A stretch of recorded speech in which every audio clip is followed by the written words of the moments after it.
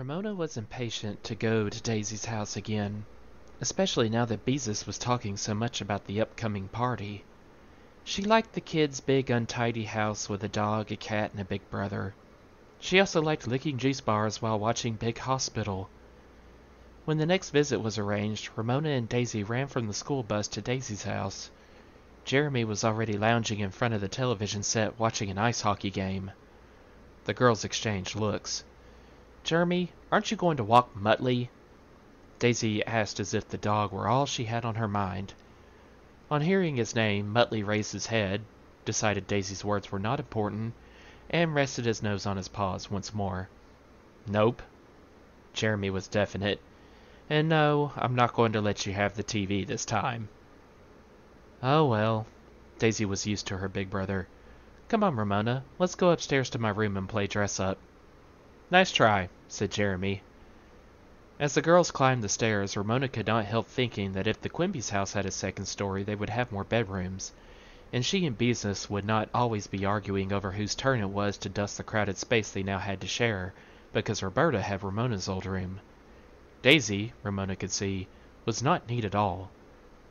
Daisy pulled a carton to the center of her room and began to pull out clothes. Satins, velvets, hats with flowers and veils, a long black cape, high-heeled shoes. Wow, breathed Ramona. Where did you get all this? Oh, around, said Daisy. Mom collected most of it for me because she loved to dress up when she was my age, only she couldn't find much to dress up in. Nice mom, thought Ramona, as she chose a long red dress with a flounce around the bottom and slipped it over her head. Daisy pulled out a long yellow dress trimmed with little things that glittered, but before she poked her head into it, she pulled off her slacks. Dresses don't look good over pants, and besides, I like the swishy feeling against my legs, she explained. Ramona decided she was right. Her dress felt smooth and silky against her bare legs. She snatched up a hat trimmed with some battered roses and set it on her head. Then she pulled off her shoes, her nice shoes, and stuck her feet into high-heeled sandals, which made her glamorous, she felt even if they were too big. Look, I'm a star! Ramona lifted her arms as if she were a dancer before she clunked across the room to look at herself in the mirror. I'm gorgeous, she announced, pretending she had long blonde hair. I'm beautiful. I'm me. Gorgeous, beautiful me. I'm Miss America. Daisy twirled around. I'm so beautiful, all the other girls in the competition went home. Both girls clunked around turning and swishing as if they were in a television fashion show. When they both turned their ankles and fell off their shoes, they collapsed on the bed in a fit of giggles. Then Ramona discovered her long pink dress, and because she was already gorgeous and beautiful, decided to promote herself to princess. She quickly changed while Daisy switched from Miss America to a witch in a long black velvet gown, and a small green hat with only three small holes in the veil. I'm wicked! cried Daisy. Great, said Ramona. I never liked books with nice witches. I'm going to shut the beautiful princess in a dungeon. Daisy made a witch face. Where are you going to find a dungeon to shut me in? Ramona was a defiant princess. That's easy. The wicked witch pushed aside the clothes in her closet to reveal a small door, which she opened. Behind it was a dark space under the eaves, which was the attic. Inside, in the half light, Ramona saw a few boards laid across the joists to make a place for storing luggage. Beyond, Ramona could see, barely, the lath and plaster that made the ceilings of the rooms downstairs. See? cried Daisy. The Wicked Witch is going to shut the beautiful princess in the dark dungeon full of rats and feed her bread and water. She grabbed Ramona and pushed her toward the closet within a closet. No, she isn't, cried Ramona, twisting away from Daisy. The princess is going to throw the witch in the dungeon and feed her cold oatmeal. Yuck, gagged Daisy. She shoved Ramona. Ramona shoved back. Once she fell off. Daisy pushed harder and shoved Ramona through the little door into the dim space beyond. Ramona, in one shoe, stepped on her pink dress, lost her balance, turned, grabbed at nothing, and stepped off the boards onto the lath and plaster. There was an ominous cracking sound beneath her feet. Oh no! cried Daisy. Help! shouted Ramona as the lath began to break beneath her weight, and she found herself sinking. Daisy screamed. The lath made snapping sounds. The pink dress ripped. Ramona heard bits of plaster hitting something below and felt her legs being scratched as the pink dress bundled up around her waist.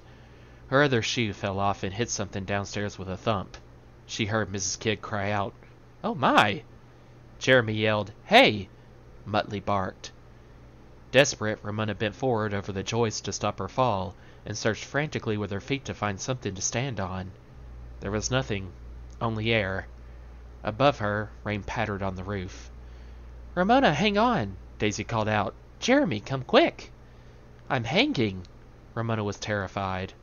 The sharp edge of the joist was pressing into her waist and her legs were cold. She wondered how much longer she could hang on. What if there really were rats in the attic? Dust was everywhere. Ramona sneezed. Below, Muttley barked harder, as if he were warning off an intruder. Hurry! she wailed. On the television, a referee blew a whistle, and a crowd roared. They're coming! cried equally terrified Daisy, grabbing at the back of the pink dress. Thumping feet were heard on the stairs. In a moment, Jeremy pushed his sister aside, and standing on the boards, seized Ramona under the arms and tugged. Dumb kids, was his comment. Ow, said Ramona. Jeremy tugged harder and managed to pull her out of the hole she had made. Yow! escaped from Ramona even though she was grateful to be rescued. As she was pulled out of the hole, she had a glimpse below at the dining room table, covered with rubble. Oh, you poor child! Mrs. Kidd was filled with sympathy, concern, and relief. Ramona was so glad to be standing on the hard floor with the remains of the pink dress heaped around her feet that she began to cry. Mrs. Kidd hugged her and murmured, There, there, you're safe now. Everything is all right. No, it isn't, wept Ramona. I made a big hole in the floor ceiling. Whatever, said Jeremy, and left the room to clump down to the television set. Thank you, sniffled Ramona, remembering her manners even though Jeremy had left. You saved my life. She began to cry harder. She had broken the ceiling and could never come to the Kidds' house again, and she and Daisy couldn't be best friends, and she would be left with Howie and messy old Willa Jean to play with, and Daisy, find Ramona some Kleenex, said Mrs. Kidd. Daisy produced a box from her dresser. Ramona mopped her nose and eyes as Mrs. Kidd helped her down the stairs. I'll get her pants, said Daisy. Downstairs in the bathroom, Mrs. Kidd pulled off the pink dress. Oh, my dear, she said when she saw Ramona's legs. She began to clean the scratches with cotton and stinging liquid from a bottle. Then she covered them with band-aids, all sizes. When she had finished, Ramona gave a final sniff. Mrs. Kidd washed her face, kissed her, and said, There, you're as good as new. A fresh worry, paying for the damage, crept into Ramona's mind. Payday, the checks her mother wrote to pay bills, taxes, and all those grown-up things whirled around in her mind. That was some hole you made, said Jeremy as she and Mrs. Kidd went into the living room, where Claude was peeking out from under the couch. Muttley, his tail drooping, looked anxious. Ramona suddenly had a new thought. If Daisy hadn't been trying to shut her in a dungeon, none of this would have happened. Maybe it was Daisy's fault. Maybe she should be angry with Daisy. She was confused. She didn't want to be angry with her best friend. Still, she didn't know what to think. Only then did Ramona gather her courage to look toward the dining room, where she saw in the ceiling a dark hole edged with broken lath and bits of plaster. The dining room table was covered with dust, rubble, and, in the midst of the mess, one high-heeled sandal. And the table had been set for, and this made Ramona feel really bad, five places, one for her. Suddenly she didn't want to stay for dinner. She wanted to go home. She wanted to be home with her own mother, comforting her for her scratches and for the loss of her best friend. She looked at Daisy, wanting to say, It was all your fault for pushing me, but she did not say it, not in front of Mrs. Kidd. She should wait until school Monday and then she would. Mrs. Kidd put her arm around Ramona. Would you rather not stay for dinner? she asked. Ramona nodded. Then come along, said Mrs. Kidd. I'll have you home in a jiffy. Ramona, Daisy was blinking back tears. It was all my fault. I I shouldn't have pushed. Ramona instantly felt both ashamed and much better. So often things that went wrong turned out to be her mistake. She should have known Daisy wasn't the kind of girl to blame other people. No, it wasn't your fault. It was both our faults, I guess. Ramona hesitated. Just promise you won't tell the kids at school. Daisy crossed her heart, smiled shakily, and said, Of course, if the beautiful princess had gone peacefully to the dungeon. Ramona interrupted, And if the witch had been a nice witch. Daisy finished for her. The kind you don't like to read about. Ramona managed to smile back over her shoulder as she followed Mrs. Kidd out the door. On the way home, she ventured a question that had been hovering in the back of her mind. Will Will it cost a lot of money to fix the ceiling? she asked Mrs. Kidd. Mrs. Kidd patted Ramona's knee. Don't worry about it. It was an accident, and I'm sure our insurance will take care of it. And you know something? Even before we moved in, I didn't like the color of the dining room. Now we have an excuse to repaint it.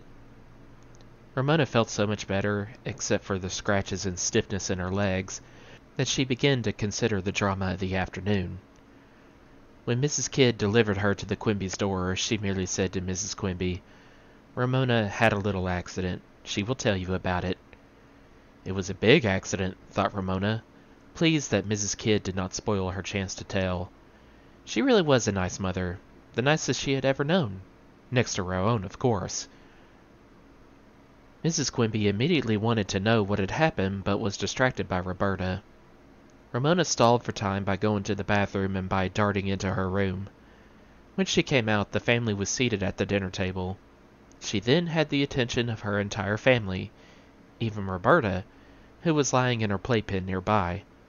Mrs. Quimby said, Ramona, I thought you were going to have dinner at Daisy's house. And what did her mother mean about a little accident? Ramona assumed a sorrowful expression. I was going to stay, but a terrible thing happened. Her family stopped eating. Ramona paused dramatically. Here was her chance to keep Beezus from talking so much about Abby and the party. Yes, go on, said Mr. Quimby. Ramona took a deep breath. I broke the ceiling. Another dramatic pause. I broke it all to smithereens and it's going to cost a bazillion dollars to fix and it fell all over the dining room and made a terrible mess, so I decided not to stay for dinner. Mr. Quimby became more impatient. Ramona, get to the point. What on earth are you talking about? Ramona basked in the attention. I was a princess trying to escape from a wicked witch who was shutting me in a dungeon. And there I was all alone in the dark with spiders and bats. Well, maybe not bats. Ramona felt if she exaggerated too much her family would not believe her. And I was terrified because the wicked witch was about to break down the door. Maybe she was stretching the truth a tiny bit, but perhaps no one would notice. And I was terrified because I felt something bump against my leg, something big, something evil and crawly. Of course, suitcases weren't evil and crawly, but by then Ramona did not want to spoil her story with the truth. And I was so terrified, all alone in the creepy dark full of cobwebs, that I tried to flee. Ee! crowed Roberta. Ramona, Mrs. Quimby spoke quietly. I think you're getting carried away. Beezus, who had been quiet until now, spoke up. So you stepped back on the unfinished part of the attic and fell through the ceiling. I know all about those attics because mothers were always telling us to stay off the lath and plaster, and I know someone who really did fall through. Of course, Ramona was annoyed with Beezus for spoiling her story. Sort of like that, she admitted with a scowl. Mrs. Quimby was shocked. Why, Ramona, did you fall all the way through? You might have been seriously hurt. I hung on, but I was wounded. Ramona tried to regain her family's sympathy. My legs got all scratched and scraped, and it hurt a lot. I was in agony. There, take that, Beezus, she thought. And then a handsome prince, I mean Daisy's brother, rescued me. Jeremy Kidd? Beezus began to laugh. He's in my math class. Wait till I tell him you called him a handsome prince. Don't you dare! Ramona was furious.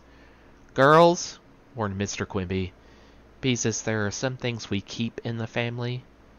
Beezus stopped laughing. Finally, she asked, Weren't you wearing pants? Ramona said in her most dignified way, Princesses don't wear pants. She paused and added, Unless they are in disguise. The family found this funny.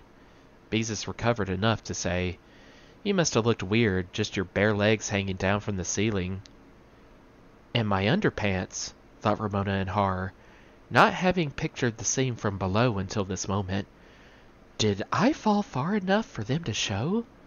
What if Jeremy saw them? She could never face him again. She could see that her family was hiding their smiles at the picture of Ramona's bare legs hanging from the ceiling. This made Ramona sulky. It really did hurt, because I was wounded. I bled. That ought to impress her family. Her father patted her hand. I know it was painful and you could have been badly hurt. But I was brave. Ramona held her head high. I hung on with all my might and main. She wasn't sure what that meant. She had read it in a book someplace and it sounded right. Maybe you have a fairy godmother, suggested Mrs. Quimby. A best friend is better, thought Ramona. Maybe, agreed Mr. Quimby, but I think she has been reading fairy tales. I like fairy tales, said Ramona. Fairy tales always have happy endings. She paused before she added, And so does mine, I guess. Her family had paid attention to her, and she still had a best friend. Then she thought to herself, A happy ending except for my underpants showing.